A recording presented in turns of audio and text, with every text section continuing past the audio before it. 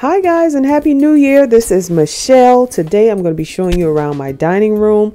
Now if you like DIYs, interior styling and doing it on a budget or you're just looking to give your home a better look or feel and not to spend a lot of money, go ahead and click the subscribe button because I am starting over with my entire house so I'm going to be doing a ton of videos so go ahead and click that subscribe button so you don't miss out now let's go ahead and jump on in Okay, so I'm starting off with a clean slate. The first thing I'm going to do is I am going to place two of these runners that I got from Pier 1 a while ago. They were 50% off. Plus, I was able to use my brother's military discount.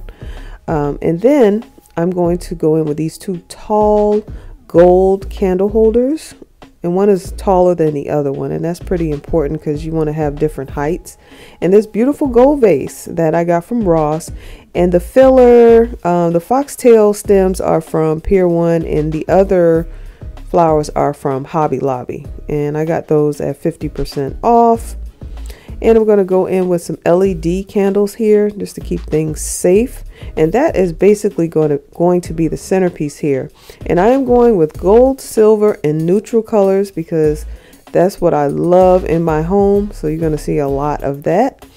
These are some gold placemats that I also got from Pier 1 and right now Pier 1 is going out of business in my area.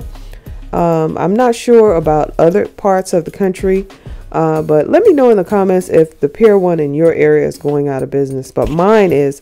And so they have a lot of deals right now. And I'm going to go in with these beautiful tea light candle holders that I've had for a while that I got from Ross. And I'm just going to center them on the runners. And like I said, I'm going to be using the silver charger and this gold plate. The charger is from Tuesday morning and the plate is from Home Goods.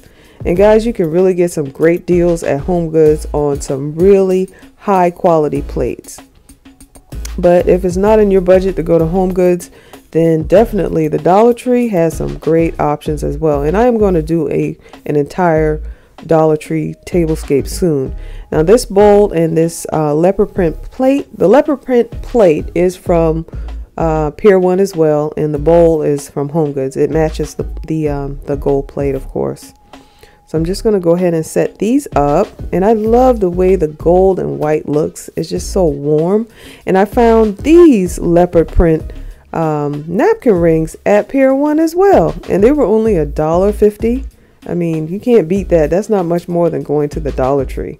And then I found this one, and so I wanted to mix them up a little bit. So I put two on one side, and then I put two of the other napkin rings on the other side. And I'm just doing the basic fold right here. I didn't want to do anything too fancy. The table is going to be like this until Valentine's Day, and then I'm going to change it after that. So right now I have put it, I have put the napkin on the side, but I'm going to change that. And these beautiful leopard print glasses. I actually got these from Burlington, guys, during the Christmas holiday. And they came in a pack of four, and I believe the pack of four was like $11.99. And so this has a really high-end look, but I really did not spend a lot of money on anything here. Like I said, Pier 1 is going out of business in my town, and I have been going there because they have a lot of things on clearance in the store and then they have an additional 25% off. So you may want to check around in your area to see whether or not they are going out of business in your area as well. And they have some beautiful uh, dishes and glasses and everything for a table. Uh, you can't, you really can't beat the prices right now. So guys, this is what it looks like. I absolutely love the way this came out. Like I said, I'm going to have this like this until Valentine's Day and then I'm going I'm going to switch it up again basically going into spring and I'll bring you that at that time. Uh, the next video on the list is my living room and then I'm going to I'm going to show you my master bathroom because I have stripped down this entire house and I am starting over.